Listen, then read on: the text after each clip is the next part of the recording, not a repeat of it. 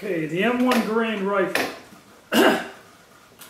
I'm not really going to do a video about the history or how to operate it. I'm going to kind of give you a buyer's guide and collector's reference on this particular gun. I've owned three or four different ones over the years. And you know, when I was younger, I never bought pristine grade guns. I bought some in the 90s when they came out of Korea. A bunch of Garands and uh, carbines came out of Korea at that period of time were available widely on the surplus market. And they were pretty much in miserable shape. I had one good example uh, that I, I sold a carbine and I had a, a rifle that was kind of okay. I didn't really have a lot of money into it but uh, there were problems with it, and I'll go over that. Uh, the one thing you have to be concerned about too is this is kind of this rifle is kind of particular about what kind of ammo you put in it.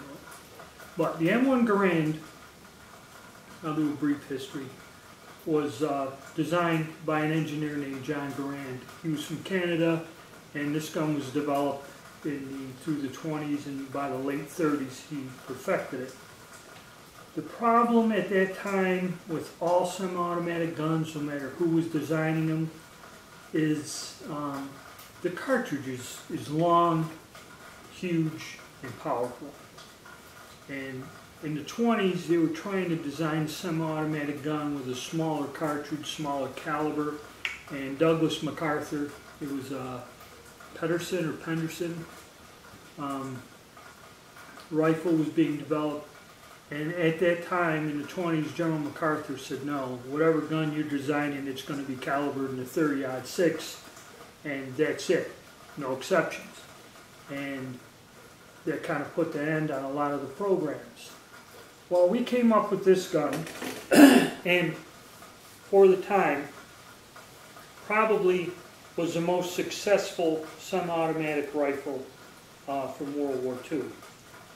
The Germans had two different types and variations which were problematic in their own ways. The, uh, there was a 1941 and then the 43.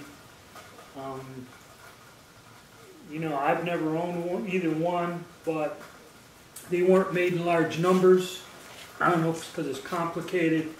They, they, they weren't successful. See, where the Germans come up with the idea is use a small scale cartridge and a compact gun and you know they're the ones that come up with that idea that worked. And instead of making something that fires these giant 30 6 or 303s uh, a lot of countries tried to take their bolt action guns and modify them with rods and pistons and make them semi-automatic. I uh, was never successful. So this gun kind of held its own at the time. It was a top of the line, I guess, or top of the list. Uh, the Russians did have the Tokarev, which, from what I see of people shooting them, they they don't really function that well or that reliable. I don't know, maybe they do. I've never owned one of those either. um, the gun stayed in service from 1938, they adopted it, until 1957 when it was replaced by the M14. Now, they made a bunch of them World War II, and then as they were overhauling them and re-arsenaling the guns, they realized they were coming up short, and there was another production run in early 50s during the Korean War. I think International Harvester and Harrington and Richardson made the guns, not so much Springfield Armory. Or maybe they did, I'm, I'm not quite sure, you can't hold me to that one. But uh, that was the last production run, was in the early 50s.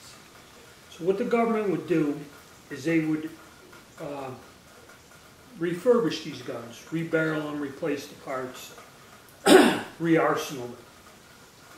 The gun stayed in service till 1957 until it was replaced by the M14.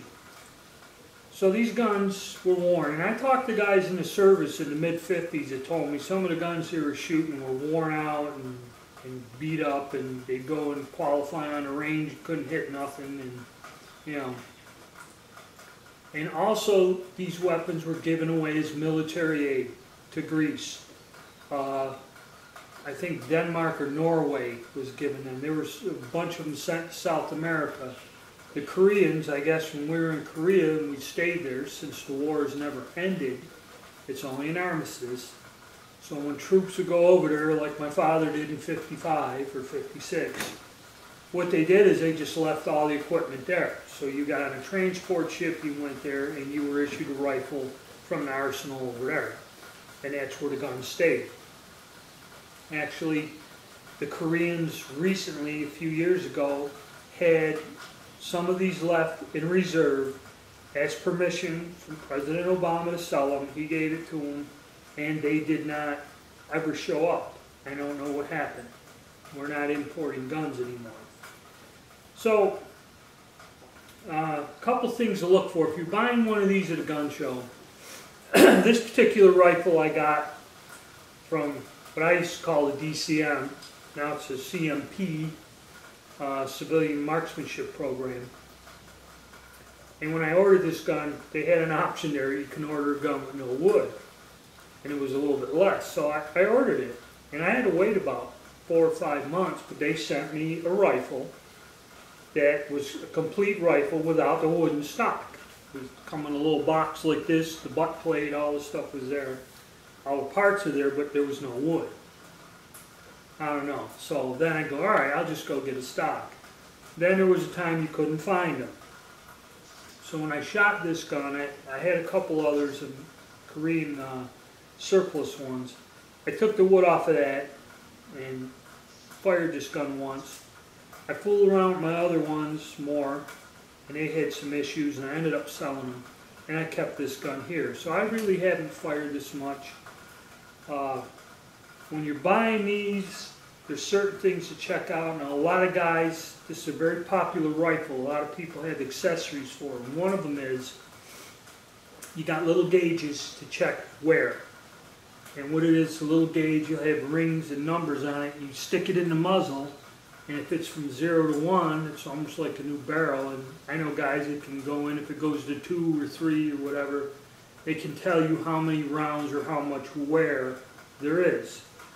There are also, which a lot of the armor tools you used to be able to get them, there's uh, throat erosion gauges, headspace gauges, and everything else. The only good thing is if you get one of these and it's kind of worn out, there are several places that can rebuild you one of these rifles right back, you know, as long as your receiver isn't damaged. Um, can rebuild these guns right back to where they're brand new, and they do shoot.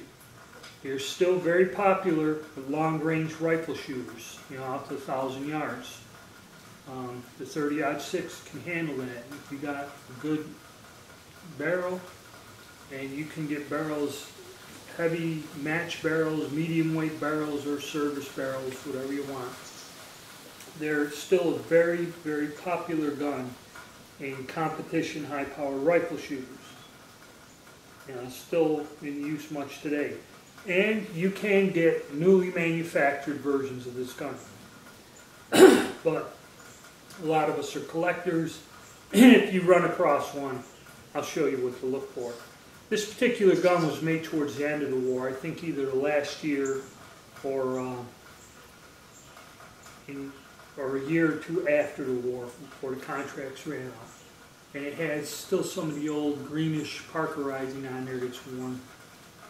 So I don't believe this gun, when uh, they refinished them, it had more of a gray color.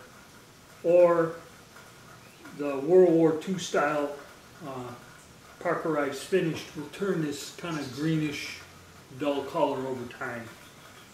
So we'll take a look at it and I'll point out some things for you to look for when you're buying one of these guns. Okay, like I said, they have a little gauge that goes in here. You can measure the barrel erosion. And most of the problems that you'll have is if the guns are worn out. Some of them ones that came from Korea, like the uh, M1 carbines and that, they were worn out because the M1 carbine has a little latch here, a little button latch that'll hold the bolt open, and that can be worn out. And uh, that. So you kind of want to look at your receipts. You can see there's wear on this gun where the finish is, is rubbed off. and you want to look, the stock fits on there pretty good. Another problem you can have, and the one gun I got from the Korean surplus had this problem. There's a pin that runs through here in this latch, and when you want to pull the action open, you hit this and it releases the uh, cartridges in the gun. There's a pin that runs through here onto this, and this has got a little spring underneath this part of the receiver, either the stock would be too far out, there'd be a gap in here, and when this pin gets worn over time, it'll move out. So you'll be firing the rifle, the pin will move out, and then it tries ejecting the clip when it goes back in the recoil and jams the gun up.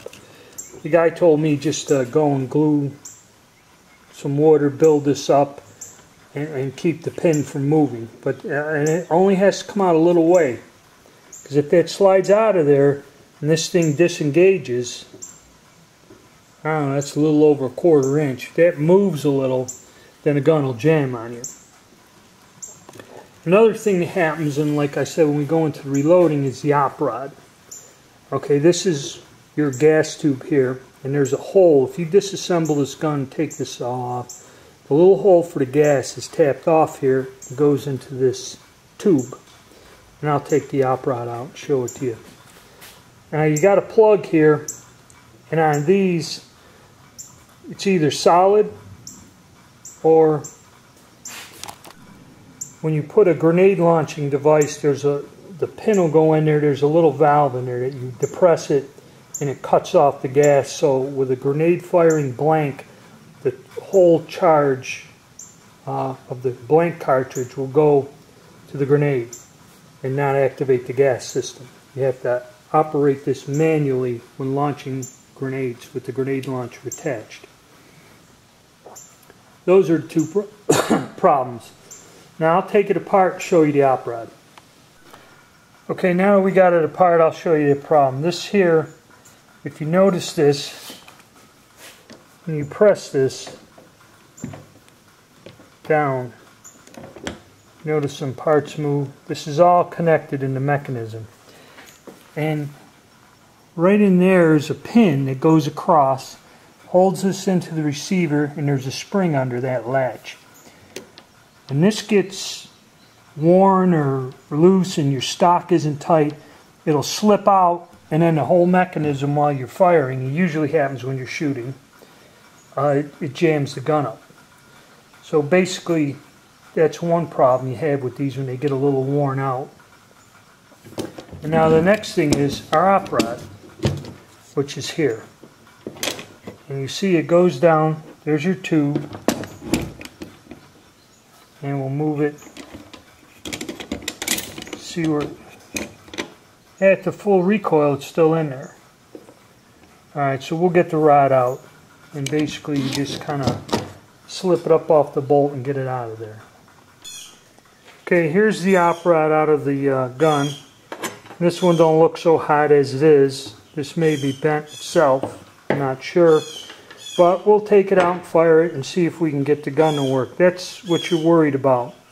Is because all it is is a slender little tube hooked into this here. Your recoil spring goes in there.